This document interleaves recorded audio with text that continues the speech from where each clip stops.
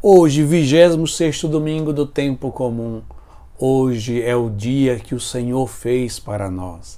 Alegremos-nos e nele exultemos. E assim nós iniciamos mais um programa, o Salmo do Dia.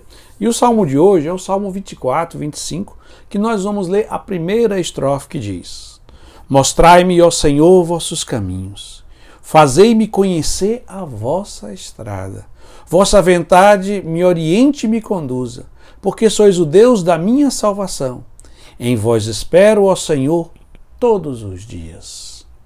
Mostrai-me, ó Senhor, vossos caminhos. A liturgia da palavra do 26º domingo do tempo comum está centrada na busca e na realização da vontade de Deus. O salmista hoje vai usar várias expressões. Primeiro, mostra-me, Senhor, os teus caminhos.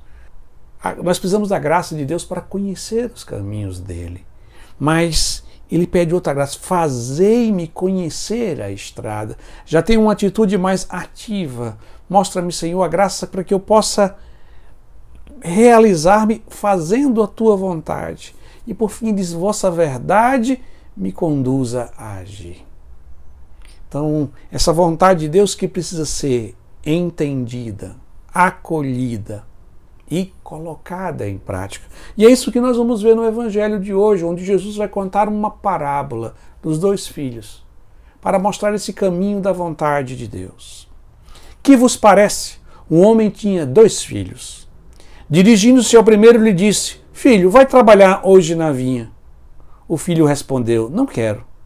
Mas depois mudou de opinião e foi. O pai se dirigiu-se ao outro filho e disse a mesma coisa. Este respondeu: Sim, Senhor, eu vou, mas não foi. E depois Jesus vai perguntar: quem foi que fez a vontade do pai? Foi aquele filho que, apesar de, de dizer não, ele terminou colocando em prática. A vinha simboliza sempre o povo de Deus, a obra de Deus, o reino de Deus. Então esse filho fez a vontade de Deus, apesar de no primeiro momento responder não. E o outro filho que apesar de ter dito sim, termina não fazendo a vontade de Deus.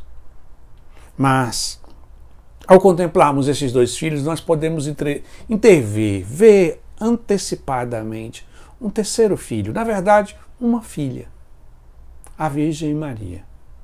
A Virgem Maria é aquela que disse sim e fez a vontade de Deus. Que nesse dia de hoje, o nosso olhar se concentre na Virgem Maria, aquela que tanto disse com suas palavras sim e com as suas atitudes, mais ainda, sim à vontade de Deus. E que ela nos ajude, e em tudo e por tudo, fazer a vontade de Deus.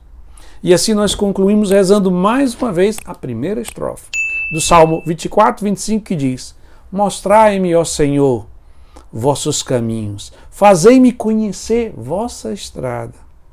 Vossa verdade me oriente e me conduza, porque sois o Deus da minha salvação. Em vós espero, ó Senhor, todos os dias. Amém.